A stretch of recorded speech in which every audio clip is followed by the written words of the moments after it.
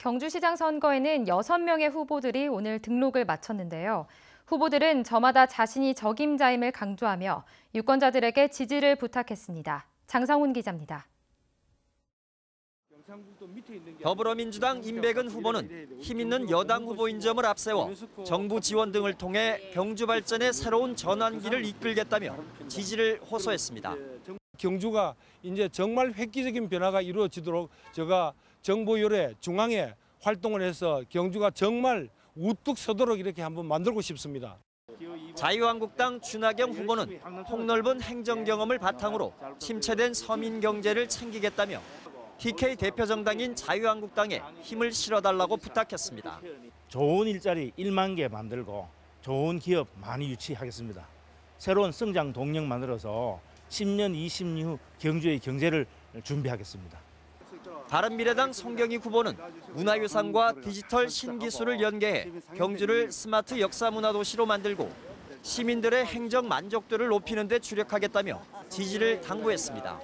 내실 있는 행정을 펼치고 시민들에게 다가설 수 있는 그 체감 행정으로 우리 시민들의 만족도를 최대한 높이도록 하겠습니다. 박근혜 대통령의 무죄 석방을 주장하는 대한애국당 최길갈 후보는 박정희 대통령이 경주 발전에 기여한 공로와 큰 꿈을 개성하겠다며 지지를 호소했습니다. 좋은 문화유산과 더불어 패션과 디자인, IT가 어울리지고 또 인프라가 구축된다면 세계적 문화관광 물류 스포츠 거점 도시가 바로 여기 경주에서 이루어질 것입니다. 지난 경주시장 선거에서 24.4%의 득표율을 보인 무소속 박병훈 후보는 오랫동안 경주의 구석구석을 공부했다며 권역별 개발 공약 등을 통해 살기 좋은 경주를 만들겠다며 지지를 부탁했습니다.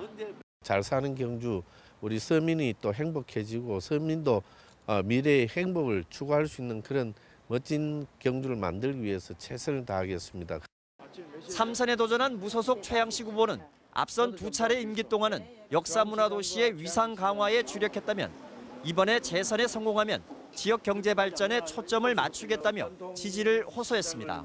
어, 전통 상권도 살아야 되겠고 또 우리 경주에 1,900개 기업들이 와서 왕성한 활동을 하고 있는데 이 기업들이 강소 기업으로 성장할 수 있도록 이번 경주시장 선거는 보수권 후보의 분열과 함께 후보가 난립하고 여당의 지지도 상승 등으로 혼전이 예상됩니다.